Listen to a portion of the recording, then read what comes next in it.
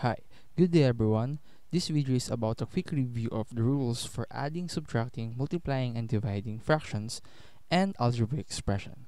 So I have here the rules for the multiplication and division. So for multiplication, we have four steps.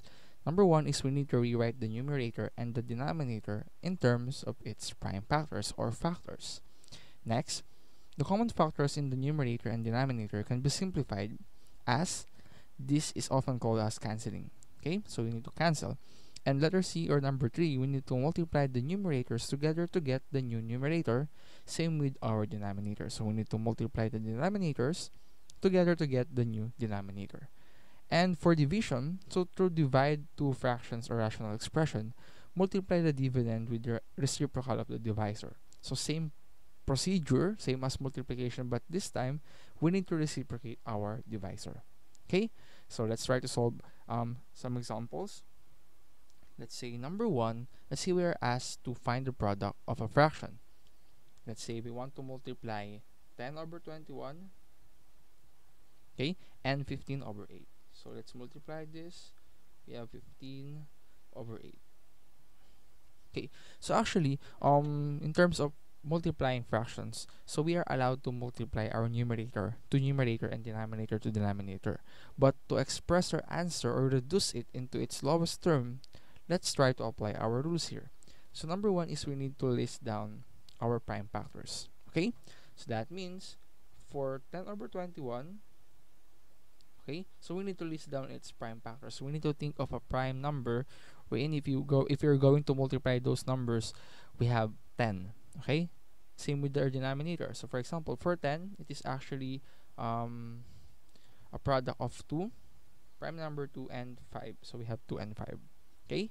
And for 21 I think that is 3 times 7 prime number 3 and prime number 7 so 3 times 7 is 21 okay? That is our that is for our first fraction. Next.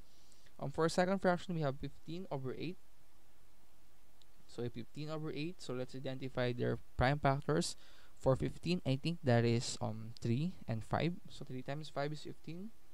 And those numbers are prime numbers. Same with 8. So 8 is actually equals to 2 times 4. But this time, 4 is not a prime number, but 4 is actually um, a product of 2 times 2. So we have this given prime factors. Okay, so just list down. Okay, let's combine all of our factors. Therefore, it will give us this set of values. So we have 2 and 5 for our numerator for the first fraction and combine it to our second fraction. Its numerator that that is 3 and 5 okay? All over the denominators. So the value of our denominators here we have 3 okay? So we have 3 7 2 2 and 2 all right next so let's apply step number 2 which is we need to um, cancel out numbers or same factors for this given situation. So um just cancel out 3. Okay? And we also have the value of 2. Alright? So next is we need to multiply the numerators together to get the new numerator. So the remaining values here, just multiply those values. So we have this 5 and another 5 for our numerator. So just multiply that value. So it will give us 5 times 5 for our numerator and we have 7 2 and 2 for our denominator. So that is over 7 oops that is 7 times 2 times 2 for our denominator. Therefore 5 times 5 is 25 and 7 times 2 is 14 times 2 that is 28 and that is our final answer which is already um, reduced to its lowest term. Okay so that's our example number one. Now let's try to solve another set of example. Let's um, try to um, find the product of this set of um, expression. So let's say we have variables. Okay, let's say we have x squared uh, minus 4x plus 5 or minus 5 all over x squared. Let's say minus 3x um, plus 2. Let's multiply this. Um, let's say we have x squared minus 5x plus 6 all over x squared minus 3x minus 10 Okay, let's say we are asked to multiply those values. Again, um, we are allowed again to multiply this numerator to numerator and denominator to denominator, but um, to reduce our answer, okay, um, this is um, a practical um, step. So we need to apply this given procedure. So just um, factor out those expression. That is our step number one. So that means um, if we have our first fraction or expression as x squared minus 4x minus 5 all over x squared minus 3x plus 2, just factor out those, those given rational or um, quadratic expression. So again, in terms of factoring, we need to think of a number or factors. Let's say we have x, okay, plus a, and then x plus b. We need to think of a number or numbers wherein if you multiply this a and b the product is our last term okay? And if you add a and b the sum will be our midterm okay? That is our technique. So that means if we have negative 5 as our last term and we have negative 4 as our midterm I think the factor for the first um, numerator that is um, positive 1 and negative 5 so let's try to double check this. Okay, negative positive 1 times negative 5, the answer is negative 5. Good. And neg and 1 plus negative 5, the answer is negative 4. Okay, so that is correct. So that means we have this correct factor. Next, for our denominator, we have x squared minus 3x plus 2. So let's factor out. So um, we have positive 2 okay, as our denominator, and we have negative 3 as our midterm. So that I think that is negative 2 and negative 1. So double check again. Negative 2 times negative 1, the answer is positive 2. Negative 2 plus 1 or plus negative 1, the answer is negative 3. So that is um correct. So we have this set of factors for our first set of expression.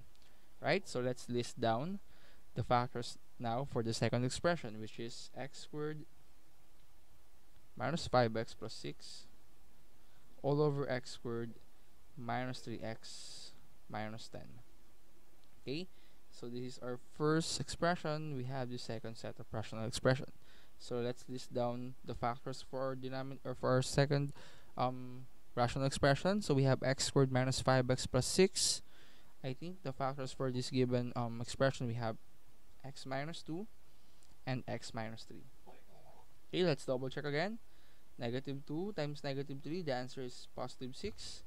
Negative 2 plus negative 3, that is negative 5. So good. So that is correct. Next, um, let's factor out our denominator.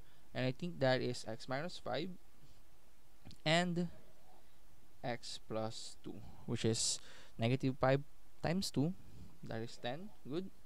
Negative 5 plus 2 is negative 3. So we have this correct factor. Next is just combine those factors, okay? So just combine it and let's cancel out same term or same factors. So for the first um value for the numerator, we have x plus 1, x minus 5. Let's combine the factors of our second expression, which is x minus 2 and x minus 3.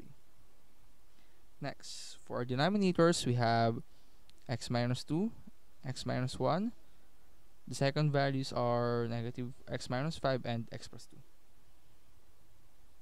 Now this time, let's apply step number 2. Let's cancel out. So, let's cancel, um, I think that is negative 5, x minus 5 and x minus 5 together with x minus 2 and x minus 2. Okay? And this time, let's list down our remaining values. So therefore, our remaining values here, we have um, x plus 1 and x minus 3 for numerator and we have x minus 1 times x plus um 2 for our denominators right so just multiply it. So just apply FOIL method to simplify this one. So let's apply FOIL method that is x times x okay? And that is equals to x squared. Next is x times 3 negative 3 that is negative 3x same with the second value we have negative 1 times x that is plus x. And 1 times negative 3 that is minus 3 okay? So that is for numerator. For the denominator, we have x times x. We have x squared. We have x times 2. That is plus 2x. We have negative 1 times x. That is minus x. And we have negative 1 times 2, which is minus 2. And let's combine like terms. So for the numerator, we have this term as our like term. And for the denominator, we have 2x and negative x. And after that, it will give us our final answer. So the final answer for this given problem, we have x squared. So negative 3x plus x, that is minus 2x or negative 2. And copy the remaining minus 3. So we have minus 3 all over x squared. 2x minus x, that is x. And copy the remaining minus 2. And that is our final answer. Right? So that is for multiplication. Now, let's proceed to um some concept of division. Okay? So again, to divide two fractions or rational expression, um just multiply or the dividend with the reciprocal of the divisor. So just reciprocate our divisor. Alright, so let's say um same procedure. Okay, so same value. Let's say we are asked to divide this. Let's say we have 3 over 10 divided by 2 over um let's say 6 okay? So again um just apply the same rule but this time we need to reciprocate our divisor and proceed to multiplication. So that means it will give us our first value here is 3 over 10 just copy it and reciprocate this value to over 6 and it will give us okay again the denominator will become will serve as our numerator and the numerator will serve as our denominator. So the, the second value here is 6 over 2 which is obviously equals to 3 okay? But this time let's multiply this one first okay? So if you want to apply the same concept okay last concept so we list down the factors. So that means for 3 over 10 the factors are 3 all over 2 times 5 that is our prime factor for 3 over 10 so for 6 over 2, that is um, 3 times 2. And we have 2. Okay? And just combine those factors. For the numerator, we have 3, 3, and 2. For the denominators, we have 2, 5, and 2. And let's cancel out like terms. So let's cancel out the value of 2 and multiply the remaining values. So we have 3 times 3, that is equals to 9 all over 5 times 2 that is equals to 10 so the answer for this given expression is 9 over 10 so thank you so much everyone and God bless